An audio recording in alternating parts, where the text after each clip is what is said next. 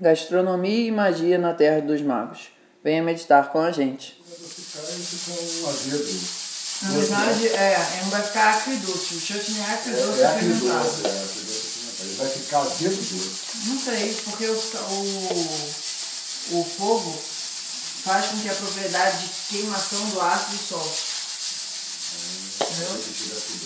Ele não vai perder aquela noção de queimação. Vai ficar um negócio assim ainda travando um pouco, mas a gente vai botar bastante açúcar ali e vai mu- mudar a propriedade através do fogo. Bom. Herbologia Namastê. Bem-estar na sua cozinha. Muito bem, vamos começar a brincar de arroz agora. Estamos aqui pré-aquecendo a panela e agora a gente vai fazer o que a gente ontem fez com a massala é, já pronta, a gente vai fazer uma massala aqui ao vivo e a cores. Chega aí por gentileza, Flor. Estamos botando uma quantidade de azeite para esquentar, tá? Não é para ficar fervendo não, é só para esquentar o azeite. Estamos botando uma quantidade grande porque a gente vai fazer uma quantidade razoável de massala. Cobrimos aí o fundo da panela. A gente vai começar sempre com as partes mais duras, tá? Isso daqui é o gengibre e é uma parte muito dura. A gente botou uma, um rizomazinho, tá? O gengibre das coisas que a gente vai botar hoje é o que é mais difícil de cozinhar, vamos dizer assim. Tem mais água e tal. Ele primeiro vai começar o pré-cozimento dele. Ó, o cheiro do azeite começando a subir. Daqui a pouco começa a subir o cheiro do coentro, ó, do gengibre também. Aí depois do gengibre a gente vai botar o coentro. Como o dia está mais quente e a gente vai fazer uma coisa com arroz integral, eu vou botar uma quantidade grande de coentro, tá? Esse coentro daqui já está antigo também. Quanto mais antigo tá o tempero, mais a gente usa. Então eu vou caprichar no coentro. Vai ter coentro pra caramba nesse arroz. Se esse coentro tivesse mais novo, uma boa colherada já estava suficiente. Mas quanto mais antigo fica o tempero, mais a gente precisa usar dele, porque ele vai perdendo as propriedades, tá? Olha o cheiro já começando a existir. A gente não tá aqui exatamente queimando nada, tá? A gente está só dando uma dourada.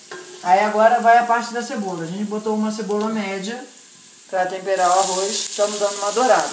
Isso a gente já faz na culinária brasileira mesmo.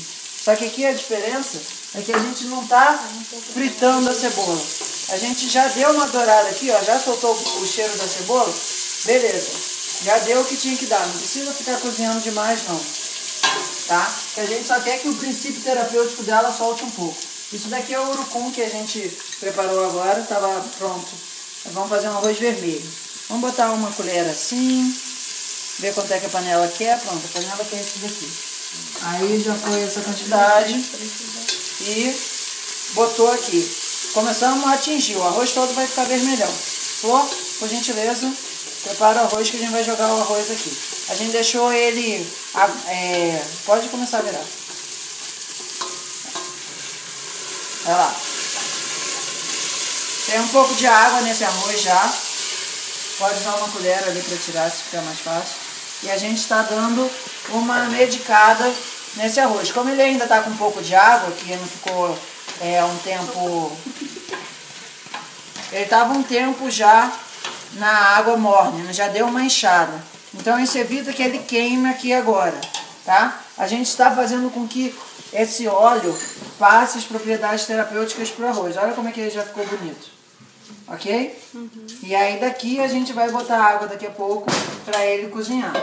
Só que esse processo aqui está garantindo que ele pegue bastante gosto, tá? Vamos pegar um pouco de gersal aí, por gentileza. É muito bonito. Isso. Tá aí na, na frente, tá aí perto de você. Isso. Aí, umas. Uma colherada bem cheia de gersal. Ah, isso é mais ou menos na sensibilidade, é fazer o quê? Tem comida, comida, quanto mais você deixar a sua parte sensitiva cooperar contigo, melhor. Beleza? Então agora a gente vai botar água aqui e começar a cortar o pimentão. Tá? Vai, vai botando devagar. Isso. Pimentão. Isso. O pimentão tá lá fora, tava boiando. Boiando. Aí essa quantidade de água aqui a gente vai cobrir ela e deixar. bora, É, vou botar mais. Vamos botar ela mais ou menos. Ó, a quantidade de arroz está até aqui, a quantidade de água a gente vai botar mais ou menos o dobro, assim. Mas água fria? Pode ser. Tá? Então, o que, que a gente fez?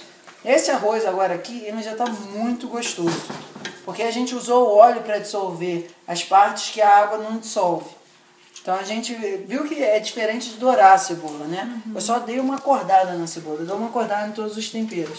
Porque quanto mais você fica cozinhando esse tempero no óleo, mais ele fica volátil.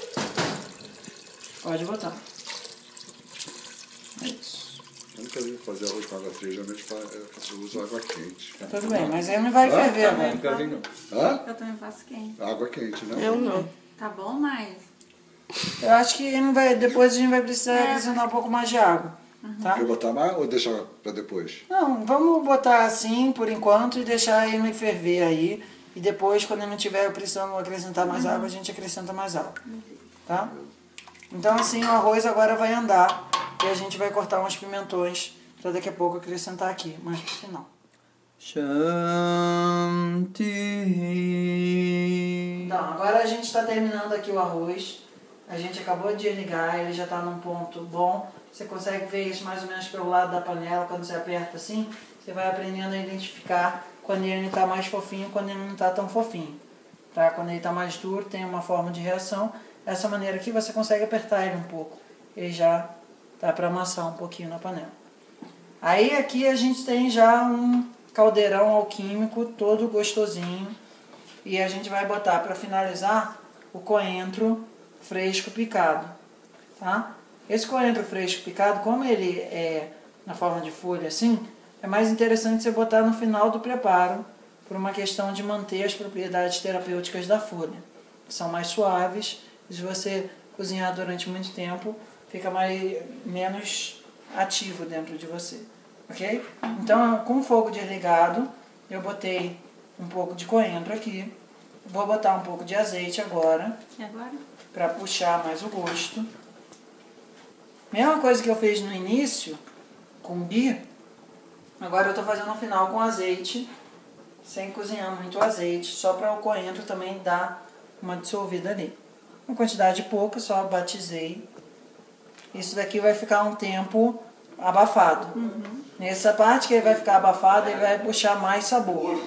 Então aqui o arroz já está pronto. O nosso chutney também já está adiantado. Ali na frente tem o nosso feijão que a gente vai finalizar agora. E o inhame está terminando e a lasanha está no forno. Tá bom? Então temos o nosso almoço já quase pronto. O chutney já foi, o arroz já foi, o inhame está indo.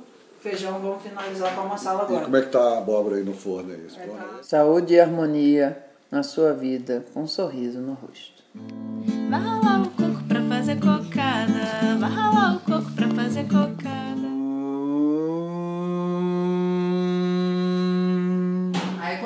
Mexer aqui no arroz, eu mexi rápido e queimei um pouco meu dedo. Aí a gente faz o seguinte, pega um pouco de vinagre pra gente ler no cara. Vinagre? É. Aí pega a cúrcuma, táticas de primeiros socorros ayurvédicos na sua cozinha. Põe um pouco de cúrcuma assim, tá bom?